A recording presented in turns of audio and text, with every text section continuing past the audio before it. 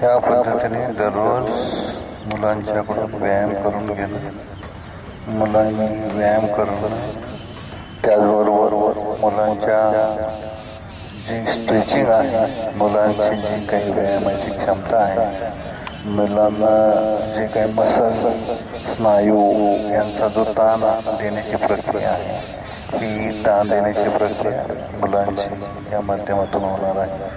ती सन्माननीय संतोष सर.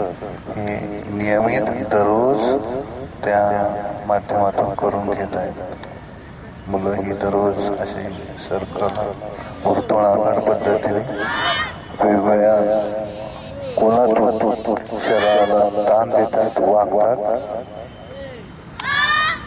या पद्धतीने हा कमरेचा ताण त्याचबरोबर गुडघ्यातील ताण आणि